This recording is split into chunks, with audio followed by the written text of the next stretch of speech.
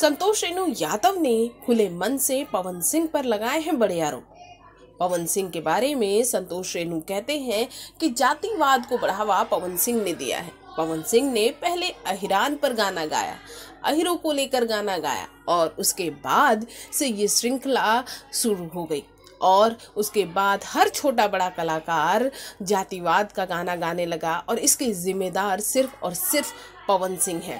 इस पर आपकी क्या प्रतिक्रिया है? कमेंट बॉक्स में कमेंट ज़रूर कीजिएगा। लेकिन उसके पहले आपको बता दें, बड़ी विवादास्पद छवि वाले हैं संतोष रेणु।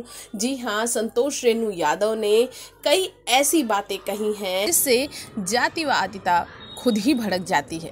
वैसे आप सभी को पता होगा कि माता सीता पर विवादास्पद बयान देने के बाद ही संतोष रेणु को जेल की हवा खानी पड़ी थी।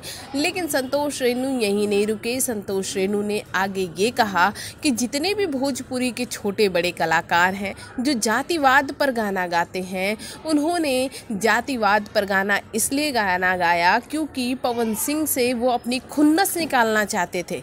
पवन सिंह राजपूत हैं, इसका मतलब ये नहीं कि वो किसी भी जात को नीचा दिखाएँगे।